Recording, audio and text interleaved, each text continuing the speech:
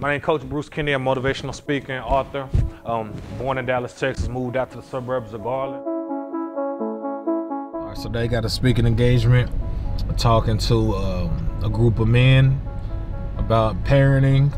Um, we just gonna go in there, invest into them, let them know that man, you know, you can be more reliable, you can be more effective, you can be more of a great individual. So I look forward to pouring into him, man. As I always say, you got your work clothes on, time to go to work. Anybody seen the movie Baby Boy? I know it's a classic. It was a young man, he stayed with his mom, right? And he was trying to figure out his life. Every time he looked up, he was finding himself getting in trouble in the hood. He was having one challenge or another.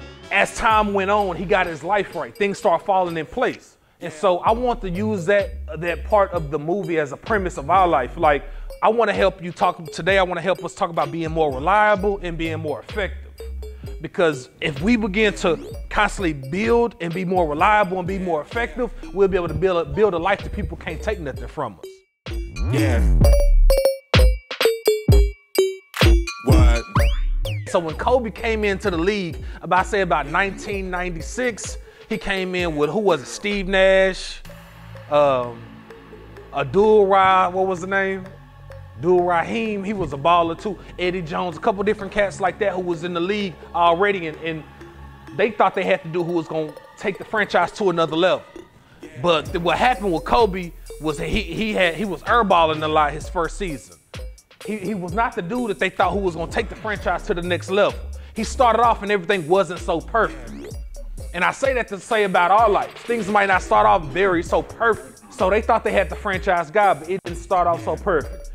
Kobe was what number at first? He was number eight. But when Shaq left off to Miami, what number did he become? 24. He elevated his game. I'm telling y'all fellas, you gotta elevate your game to number 24. I don't know if you think about it, but if you want to look at your life as a business, then that's what you just got to do. But you got to elevate yourself and become number 24. And you got to become like reckless for the league. Hands down, you got to be the, you got to look at your life and your as a fatherhood and say, how can I elevate everybody? Am I elevating my family? My woman that I'm with now, my kids who I have. That's what I'm thinking for my life right now. That's what my mindset to win. I'm going to 24. And I, I, be, I believe that I'm gonna build a foundation that just won't be stripped from me when I look back at it. I'm I'm gonna have a, a leave an asset and lie, and, and I'm gonna be an asset and not a liability. That life is not built off luck. Like life ain't built off love. We can't look for a Powerball. We can't look for an income tax return check to help us set it off. Like we gotta be our own break. And so when you develop that kind of skill set, whether it's going back to school to learn a trade, work on a car, do plumbing, whatever we got to do to light that fire under us, then that's just what we got to do. But for me, for me, when I was in school, I was in remedial classes. I was not supposed to go to college, but basketball was my leverage. Don't Hustle for, turn your business into a hustle. Don't hustle for your business. So, so elevate yourself and looking at look at everything as opportunity inside a lifetime of an opportunity that's inside of a lifetime of an opportunity. It was hard on me, bro, like straight up, because I was doing the things I wasn't supposed to do. I took my same habits that I had and I took them over to college. I was smoking, I was drinking, I was hanging out baseball team, rodeo team.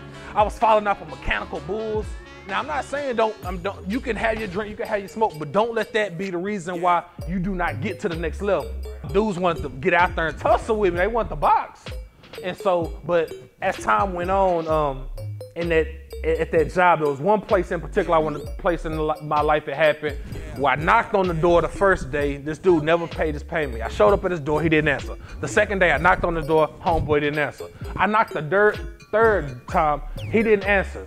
So what I did was I looked through the blinds, right? And I seen that nobody was there. They had moved on. I'm going to the old address. How many times have we knocked on doors?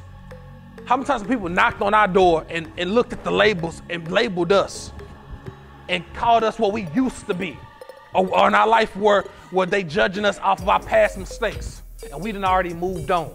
I'm telling y'all that story to tell you that people are always gonna try to find a reason to judge you. Your BM, your baby mama is always gonna find a reason to try to belittle you. Your, your, your friends or your, your mom or your granny, they might always have something to say. But we gotta be bigger than what people have to say about us. We just gotta man up and every day go to work. Yeah. Myself staying with my friend after I graduated college. His name was Jimmy. Jimmy said, You could stay with me. He said, But I got two rules no drinking and no smoking in my house. I said, I could do that. So it was about three weeks in, and all of a sudden, I felt this like energy in the atmosphere, or some kind of gas, or something didn't feel right. And I, I, I called my buddy up, and his name was Zach. I called Zach up. He told me call his dad, Mr. E. I got on the phone with him, and he was like, "Hey, I'm, gonna send some guys through there. Don't worry about it." Firemen came up to me and they said, "Mr. Kennedy, he says 99.9 carbon monoxide in the house. He said you should have died in your sleep. He said if you would have lit a fire, lit a match, anything that had to do flaming, you would have blew up automatically." I tell you that story because discipline saved my life. Discipline, not desire, determines your destination.